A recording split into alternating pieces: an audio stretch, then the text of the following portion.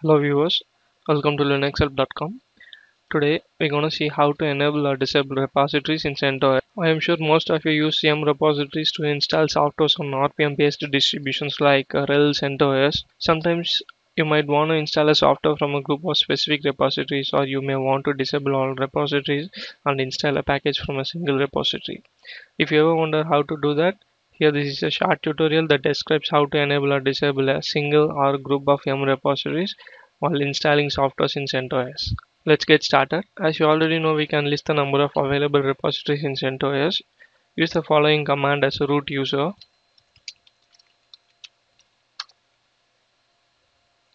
As you see in the above output, I have added two more additional repositories named EPEL and REMI. These are the two important repositories that provides packages which are not found in CentOS official repository. One thing is whenever you run yum update command, those additional repositories will be updated. So the packages from that repository will also be updated to the latest versions. Sometimes you don't want to install the latest packages and want to stick with the older version instead. In such cases, you can include a repository so that packages from the repositories will not be upgraded. We can enable or disable repositories in two ways. One is temporary method and another is permanent method. First, let's see how to enable or disable repositories temporarily. So this is going to be my preferred method. In this method, we can temporarily exclude a repository to prevent a package from being updated. So let's see an example. To disable a multiple repository, just include the repositories updated by comma as shown in this command.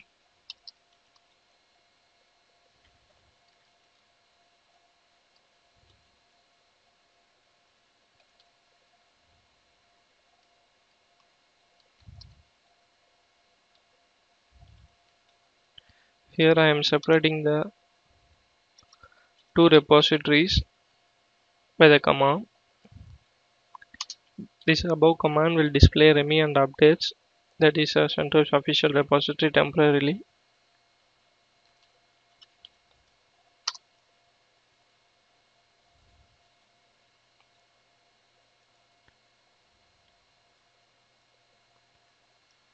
You can even use this method to install a package too.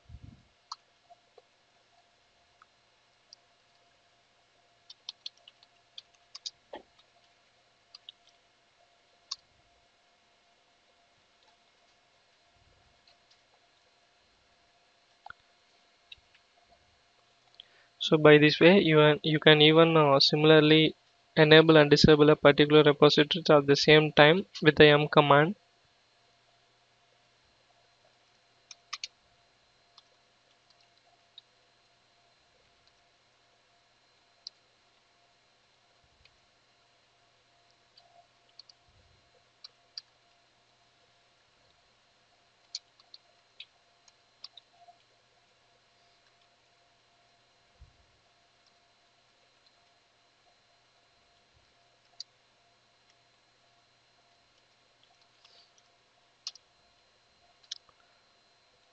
So this command will both enable and disable a particular repositories at the same yum command.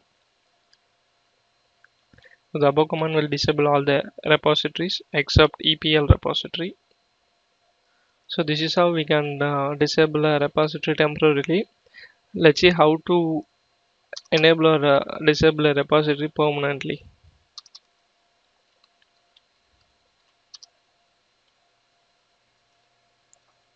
Usually the repository configuration file will be saved in etc slash yum dot repos dot d.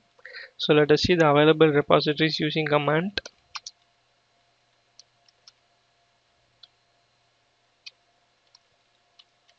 So you can see here these are the available repositories. Let's disable uh, a epel.repo. To do so, go to the EPEL repository file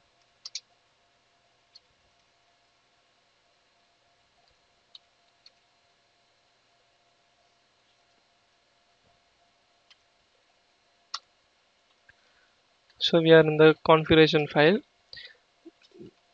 We have to go to the enable. Here we have to change the enabled value. 1 is equal to 0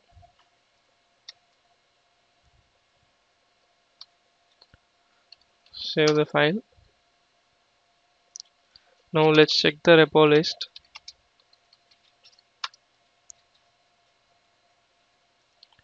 so if you see here there is no EPEL repository available here. Similarly you can change the value of enable line is equal to 0 to enable the repository.